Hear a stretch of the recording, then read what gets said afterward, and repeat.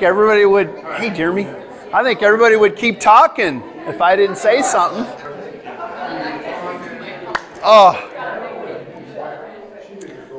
it's so good to be here today and, and so good to worship uh, Christ with you all.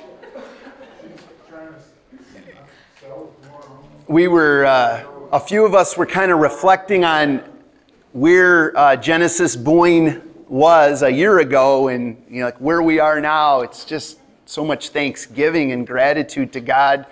We have a pastor coming to help us. Isn't that awesome? Thank you, Lord. Uh, John and uh, Jenny and the kids are going to be driving up here uh, this midweek, I think, this week. And so um, I just want to take a second and pray about for them and pray that they'll have mercies on the road as they travel and just that we'll get off to an amazing start. And I just trust that that's going to happen. I just believe God is at work. So let me pray.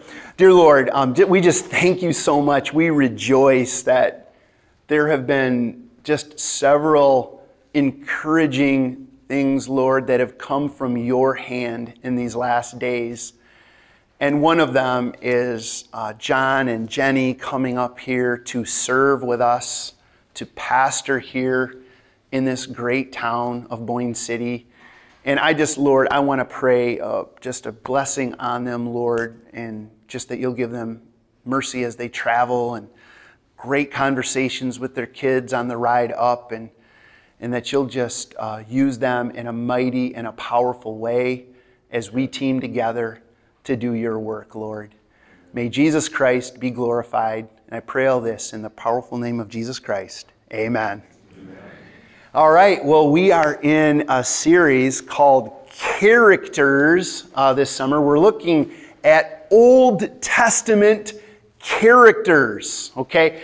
And these Old Testament characters, we often think of them as like superheroes, like Moses and Abraham, and we're looking at each of these. We've already looked at uh, Abraham. John did last week and gave a great message on Abraham. And sometimes we look at these characters and we just think they're superhuman. But let me tell you something. They put their sandals on one foot at a time, just like you and I do. They had blood in their veins. It was warm. It was warm blood. They were just, they were humans. They were people just like you and I. They made mistakes.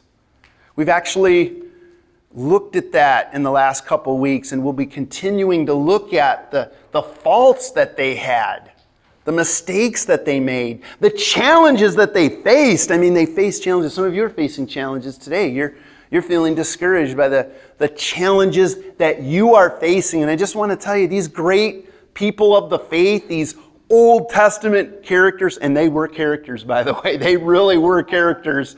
Um, they faced things like you face things.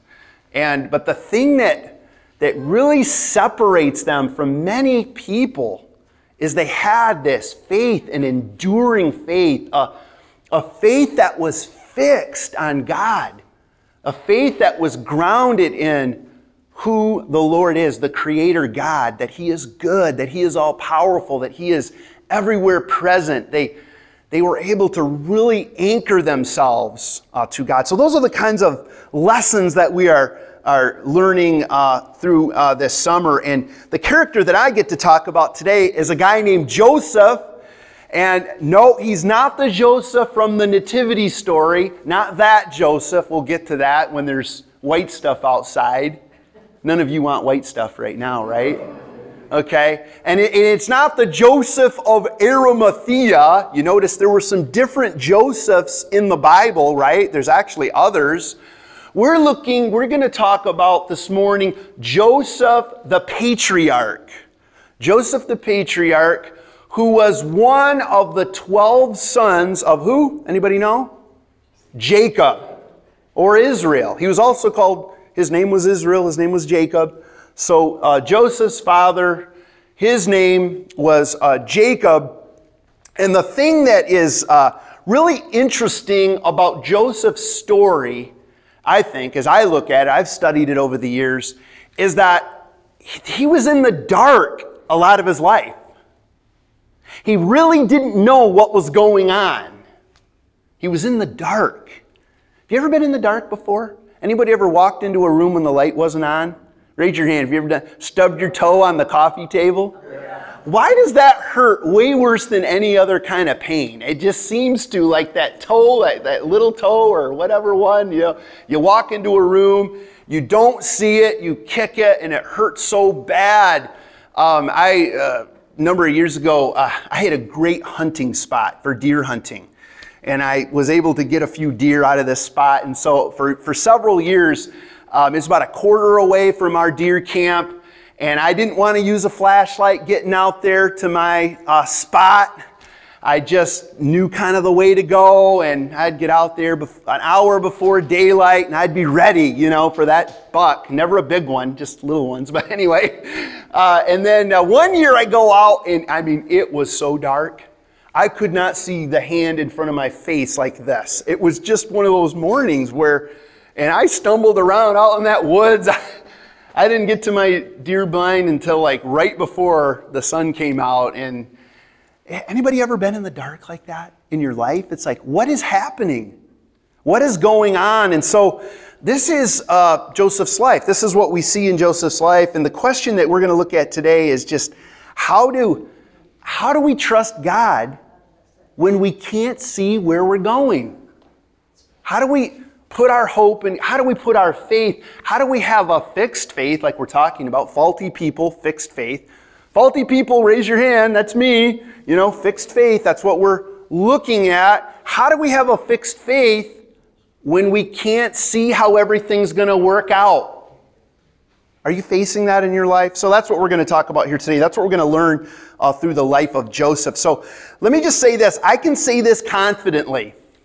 Joseph came from a dysfunctional family. His family was jacked up, man. I mean, it was Jacob, his father, had multiple wives. You know, some people say that the Bible teaches polygamy. It does not. It describes what people did. described what Jacob did. He had multiple wives. And anytime the Bible describes something like that, polygamy in this case, it's a train wreck. And their family was a train wreck. There was marriage rivalry and all kinds of different things going on. The other thing was that uh, Jacob, again, uh, Joseph's father, he broke the cardinal rule of parenting. Does anybody know what the cardinal rule of parenting is? Anybody want to guess? No favorites. No favorites. Guess what? He had a favorite. Joseph was his favorite kid. You know, he put him in charge of his brothers. He was the second youngest and yet he was put in charge of his brothers. And remember the old, the famous robe, the multicolored uh, robe? He got that, so he was set off. And, uh, you know, when you have a favorite child, what happens? What happens when you have a favorite child? That's right. You embitter the other children. And so, you know, here, here's just a lesson from the Bible, very practical lesson. You know, I have three kids. And it's interesting that you can really connect maybe with one kid a little better than the other kids. You know what I mean? It's just like their personality is similar to yours. And so, but we always have to be careful that we're not playing favorites. We're not favoritizing, let's say, if that's a word. Think I have a professor here today that could tell me. Um, you know, we can't play favorites with our kids. It's not, we treat them, we may not treat them exactly alike because in parenting, sometimes different decisions is warranted in different kids' lives, right? So it's not like we treat them exactly the same. It's not that. It's just we don't elevate them. And so this is what was going on in their family. And so there was embittered kids. There was a train wreck of a family. And uh, not only that, and I think consequently, because of those factors, Joseph was a cocky and arrogant young man. You know, he was over his brothers.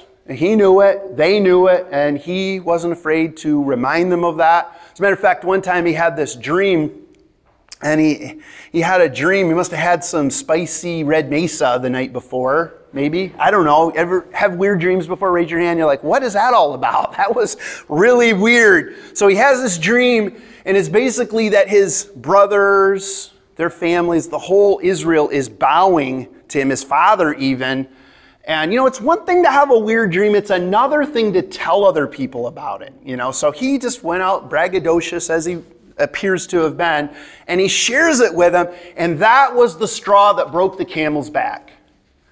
That that just it took that embitterment to a new level, and not just sibling rivalry like we want to kill him, murderous thoughts. That this is we need to put we need to snuff him out. And so they were so angry uh, by this. So, so in any event, and by the way, this is all Genesis uh, chapter 39. Um, I encourage you to open up and read the whole epic of Joseph. We're going to move through it quickly. And we've got some, at the very end, we've got some lessons that we want to grab from this story that will help us understand how to live life in faith in the dark times. Um, but in any event, uh, then the, one day Jacob the father says, Hey, go find your brothers. They've got the sheep out in pasture somewhere. Go get, you know, redirect them to another pasture spot. You always are moving your sheep around. And so he was like, Yep, must, you know, it's just interesting. Joseph is at home. so anyway, he goes out on the road and they see him from afar and they say, Here's our chance, let's get him. So they grab him, they beat him up, they tear that robe, they tear it all up. They throw him into this uh, empty cistern, and then they begin to talk. What are we going to do? They were kind of like, let's not kill him. His blood will be on our hands. And oh, and then they got this idea. We'll sell him to slave owners. These Ishmaelites who are headed to Egypt. That, that'll be our ticket out of this. And so they, they grab him out of the cistern. They sell him for 20 shekels of silver. And he gets sold to the house of Potiphar in Egypt.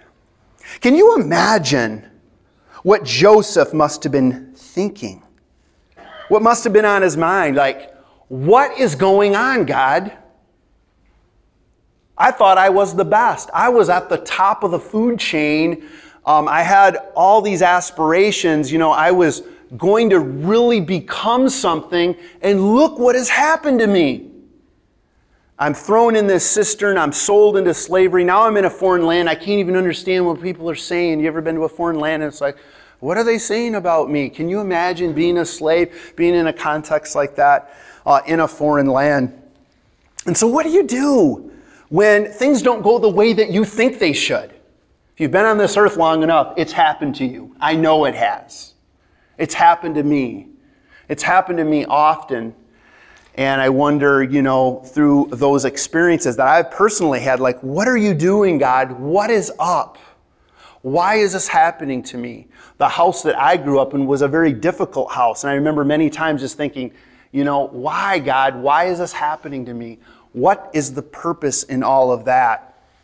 And so maybe you're feeling that way today. And so here, here's uh, though what this is what Genesis 39 2 says. Um, here's what Genesis 39 2 says. The Lord was with Joseph so that he prospered, and he lived in his Egyptian master's house. Ephesians, or excuse me, Genesis chapter uh, 39, uh, verse 2. And, and what we find here is that he wasn't in his father's house anymore. He was in Egypt, he was in a master's house, but the Lord was with Joseph. And, and Joseph applies himself. God is present, and Joseph, it appears, as we look at the story, he's trusting the Lord in a foreign land. He's trusting the Lord while he's in slavery in a foreign land. So jo- Joseph leans into God. And, and let me just ask you are you leaning into God in your trials, in your darkness, in when you can't see how this is going to work out, are you leaning into God or are you leaning into yourself? It appears here that Joseph is leaning into God. So it says there that Joseph prospered in Potiphar's house. He really, he was blooming where he was planted. He didn't want to be there. He'd rather be back home bossing his brothers around. I mean, who wouldn't, right? But he's not there. He's in a foreign land. He's a slave, and yet he is applying himself. He is executing his administration. He's very administrative. He's doing an excellent job and he raises through the ranks. And he actually he becomes the lead attendant in the house of Potiphar. Okay? So He's doing a fantastic job, and it says the Lord is with him. And it's, this is really all because of God's grace. Anytime we are experiencing success, we can't look at ourselves and say, Look how good I am. We need to thank God and say, Thank you, Lord, for the blessings you're giving me. Thank you for what you've supplied in my life, that you gave me this talent. You gave me this opportunity at this space in history and at this space in time. And that's, that's what we see out of Joseph. We see him uh, doing that. So, who also takes note of Joseph? Anybody know? Who took note of Joseph in this story? Potiphar's wife. She's like, he is a fine looking young man. Uh, it says in the scripture, it says, that he was well built and Pharaoh's wife took notice of him and she was like, Come to bed with me. Come to bed with me. And she kept continuing to entice him and to invite him. And uh, jo- but Joseph is like, he's like, no, no. We need to say no, don't we? We need to say no in this world. We need to be able to have the courage to say, no, that's not right. Even when we're in the minority. Do you understand what I'm saying? Even when we're in a culture that's changing, we need to be, no, that's not right. And that's what he said. He said, How could I do this against my master? He's put me into this position of authority. How could I be derelict about my responsibilities? And, then he says this How could I sin against God? See, um, Joseph is making a very clear statement. This is early in the Bible that there are things that are inbounds sexually. Sex, sex is not a bad thing. It's not like get rid of it all or it's wrong, it's bad, it's all sinful. No, no, Scripture says there's appropriate place, appropriate expression of sexuality, and then there's sexuality that is out of bounds. That's what we're seeing here. He's like, how could I do this and sin against God? You know, um, having sexual relations with a married woman, uh, you know, someone else's wife, is wrong. and you know, there is biblical sexual ethics that if you're a follower of Christ, and I'm not assuming everyone here is, but if you are, you need to understand well, what does the Bible teach about this? What are the boundaries that are around um, sexuality? And you know, just the quick answer is that monogamous relationship between a man and a woman. That's what scripture teaches. And that's what we teach as a church. That's what we believe as a church. And so Joseph is like, no, this is wrong. It would be wrong against my master. And I would be uh, sinning against God. So, but Potiphar's wife, she was hot on his trail. So she figured out a way to get everybody else out of the house and for just her and him to be in the house. And he took she took hold of him and says, You know, come to bed with me. And what did he do? He did what, that's right. He did what we need to do when facing sexual temptation. He ran. He bolted. He got out of there. It was getting hot in the kitchen and he got out of there and he unfortunately he left his cloak in her hands and so what did she do? She put it by her side. And when Potiphar came home, she accused um, Joseph of trying to seduce her. And so what happened to him? He get thrown in, thrown in the clink. He got put into a dungeon. I mean, it's not just, I don't want to make light of it. He got put into prison. What might have Joseph been thinking? Have you ever had a situation where you did what was right and yet you got in trouble? You said what was right. You, you know, maybe it was, uh, you said in our day and age, you said what was morally right, and someone castigated you, or you were humiliated in front of other people. It happens a lot. And sometimes we, we bring that on ourselves because the way we go about the manner in which we present moral truth, biblical truth, we can sometimes be a lightning rod for what comes back at us. But other times, we do what is right, we do it in a loving way, we do it in a kind way, and yet we get castigated. And, you know, Joseph did what was right. I mean, what, what must he have been thinking? Like, God, I, I said no, I did the right thing, and look, I'm in a dungeon. Did you know it's darker in a dungeon?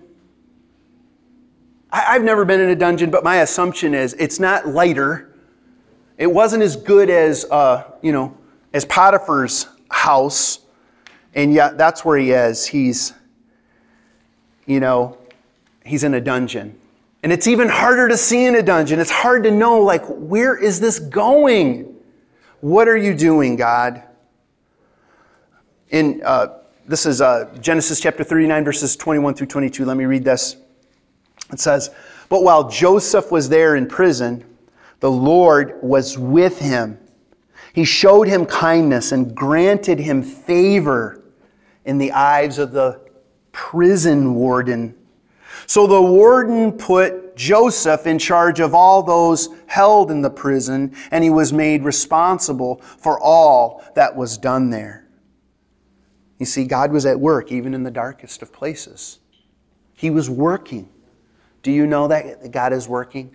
I love the song that we sing, uh, Waymaker. Have you ever heard that one before? Raise your hand if you're Waymaker. I love the when we do the chorus. I think it says something to the effect of, like, even when it doesn't seem like He's working. How does it go? Even when I can't feel it, you're working. Even when I can't see it. Right. He's working. Do you know that? He was at work in the jo- Joseph story, even though Joseph was in the dungeon. I mean, it had to be so disconcerting to him, but God is at work, and we see that uh, from his word. So uh, Joseph found favor in the eyes of the prison warden, and he's entrusted with responsibility again. He's blooming where he's planted, and he's raising through the ranks. And guess what? In the course of time, two very prominent people wind up in the prison system of Pharaoh. One is the baker of Pharaoh. And does anybody know what the other one was? The cupbearer, the taster, the guy that makes sure, you know, this won't kill you, Pharaoh. I'll try it. And, okay, I'm alive. Okay, you can eat it. You can drink it. So,